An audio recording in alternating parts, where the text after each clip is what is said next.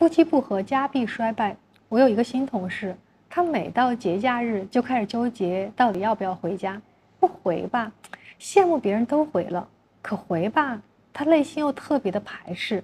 这个事情令他非常痛苦。之前我很不理解，回家应该是一件高兴的事儿啊，他怎么会排斥和痛苦呢？然后我就问他，为什么回家会这么纠结？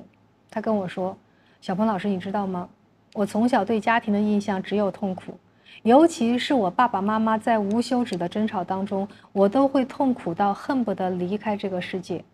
他们几乎每天吵架，哪怕只是为了沟通今天吃什么，也会因为意见不合而互相的语言攻击。爸爸通常就是一边骂骂咧咧，一边摔门而去，而妈妈呢，则是一个人在家里狠狠地哭一顿。每次看到这样的场景，他说我真的非常痛苦。那个时候我能逃去的地方就是奶奶家。每次我哭着去，就会惹得爷爷奶奶一起跟着上火，尤其是奶奶，经常会被气哭，甚至是气病。我听到他说这句话以后，我真的好心疼他。家明明是一个温暖的地方，可对他而言却不是。他说他和弟弟为了逃避这种生活氛围，干脆不怎么回家，有时候是连过年都不回去。时间久了，家的味道就淡了。如今他家里人都在，却每个人都活得像个孤儿。无依无靠，全靠自己打拼，连个退路都没有。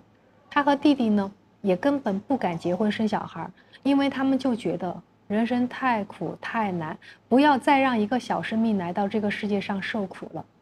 我知道很多很多的人，一边自己在拼命地扛着父母带给他们所有的苦和怕，一边呢又被父母催婚催生催一切。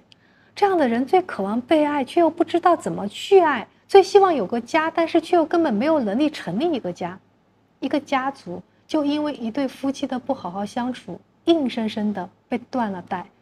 有一些原生家庭不好的人，就算鼓起勇气结婚生子了，可依旧因为从来没有接受过爱的教育，两性相处的教育，又会重演父母的故事，然后毁掉自己下一代的人生。夫妻不和毁三代，幸运的人用童年治愈一生，不幸的人用一生治愈童年。你忍心你的孩子是那个用一生去治愈童年的人吗？